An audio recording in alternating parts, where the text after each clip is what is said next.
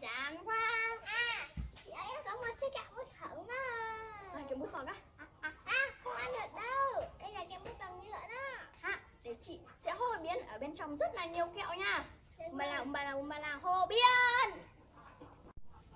Wow ở bên trong có một chiếc kẹo đó. Ai da ai da. Wow.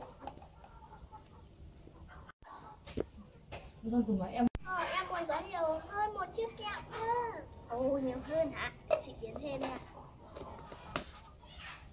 Úng ba la, úng ba la, úng ba la, hô biến. Wow, nha. Wow, làm sao chị làm được như thế vậy?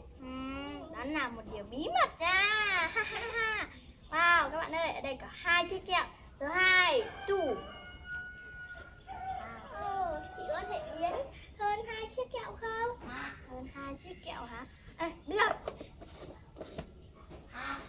bà là bà là bà là hồ biến.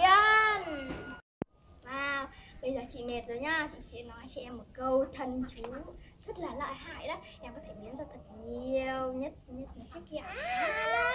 À, để chị. Nhá, Em hãy chị nếu không là em sẽ bị thất bại đó. Nào, hãy cố lên nha. uống ba là, uống ba là, uống ba là, hô biết ờ. oh. Hãy cố lên, tự tin lên. uống ba là, uống ba là, uống ba là, hô biết Ủa? Ờ. Hãy cố lên. Thất bại là mẹ thành công đó. Cố lên nha.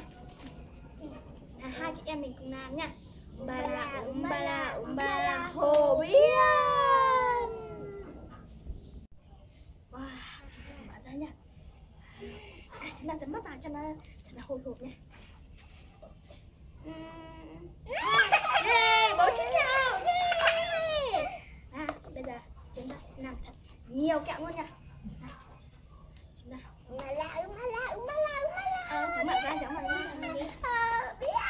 Hô biến! Quay manh chóng mặt quá trời à. Ôi. Wow. Yeah, yeah, yeah, yeah. Yeah. Em thật là giỏi. Nó sẽ đổ ra đĩa nha. À, xem chúng ta đã ba chiếc kẹo nha. Wow, chiếc kẹo thứ nhất. Số 1, one. Chiếc kẹo số 2, two. Chiếc kẹo số 3, three. Chiếc kẹo số 4, Chiếc kẹo số 5, 5 Chiếc kẹo số 6, 6 Chiếc kẹo số 7, 7 Chiếc kẹo số 8, 8 Chiếc kẹo số 9, 9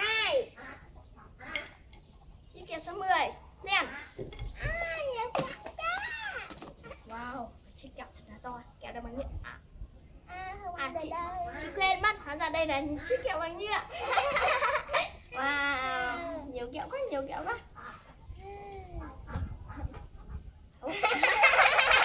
Các bạn ơi bây giờ hai chị em mình đã chơi xong rồi. Hẹn gặp lại các bạn các bạn ở video tiếp theo.